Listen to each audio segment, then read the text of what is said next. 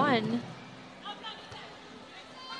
Perez inangat kay Van Sickle and that catches the line. Very high contact as well.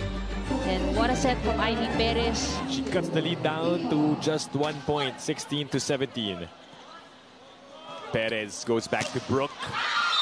Oh, Emnas and Ronquillo just stood there. Blockers yung palo. So that's also a very confusing area dahil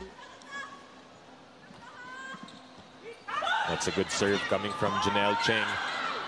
Ronquillo will send a free ball. Napailing na lang doon si Coach Lerma.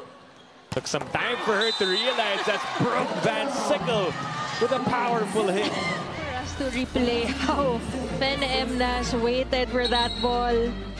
Nagtago na talaga sa ilalim. Only down by two points. Mabilangan. With that serve, here comes Van Sickle. Eroa unable to control, and it's another point for Petro Gazz. 12 points already for Brooke Van Sickle. Kanina, I think she was at uh, 4 points no after set number 1. And the lead is now up to five. The right score is 22 to 17. The number one server of the league.